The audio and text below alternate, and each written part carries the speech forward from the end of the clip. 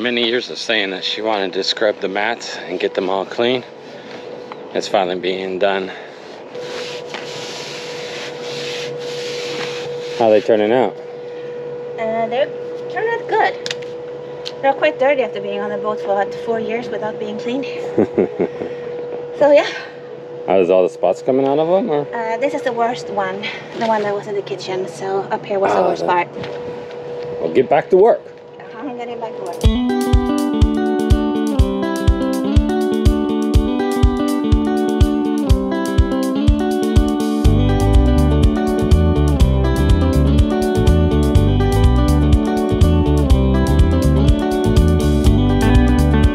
Today we finally put the mast back on after about three weeks of it being on the hard. We're over going over to the boat now to motor over so that way we can get it lifted.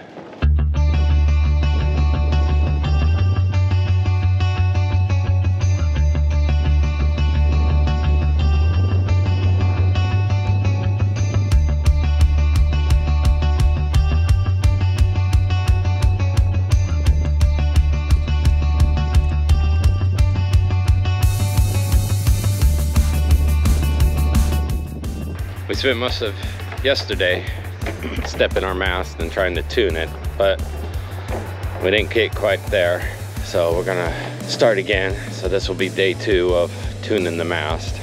The tension is just not quite right. So we're gonna loosen everything up and restart again.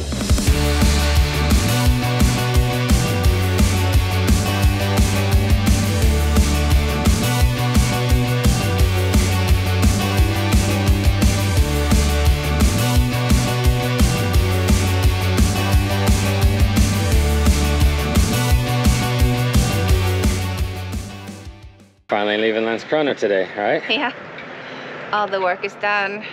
Been here way too long. Just good to go. So what are we gonna be doing now? Going up to Helsingborg. Oh, we're gonna dock. No, we're gonna fuel. That's what we're gonna do. We're gonna fuel the boat, and then after that, we're gonna go straight up to Helsingborg so we can fill up our gasoil.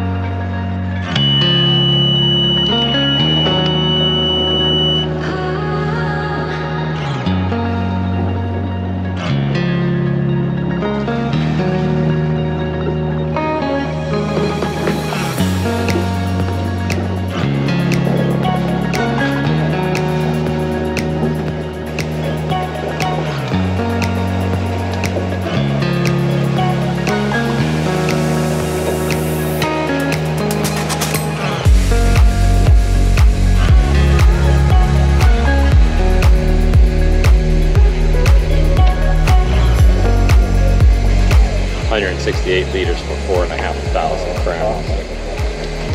Crazy. Well, we tried to leave, but the cooling system stopped putting water through and I can see why. Because like we got our filter right there, and it is completely clogged. So now we gotta unclog that before we can get going again. This is our raw water strainer that takes out all the big chunks before it gets before the water goes into our engine and it is looking like it is packed out here i'm not putting it down our sink Let me see that. it's all That was a lot of gunk. yeah a lot of gunk Okay, fill me up here. What happened? well we were trying to get off the dock all the seaweed blew in and so i think when we're trying to get off dock we just sucked up a bunch of stuff and clogged this and it was clogging our raw water cooling. We were getting no water coming through so we had to make an emergency pit stop here to clean this out hopefully there's not more you know in the system that's clogged somewhere. Let's see if this this works. Let's hope this works. Let's hope it works.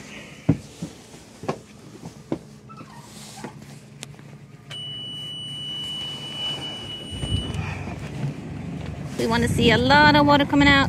Come on. there's a lot more water than what we get it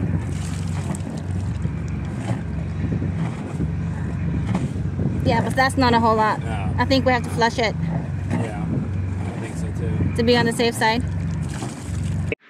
Okay, we drained the filter, and it still seems like there might be more stuck in the stuck in the pipe that goes down to the bottom of the ship.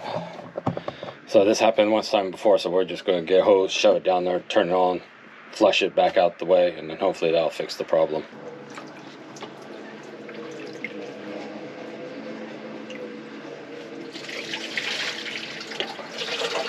Okay, one more time.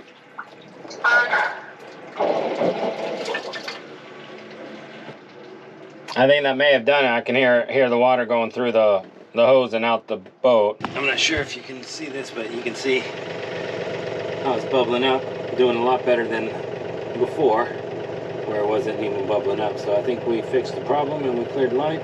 The water is coming out much better.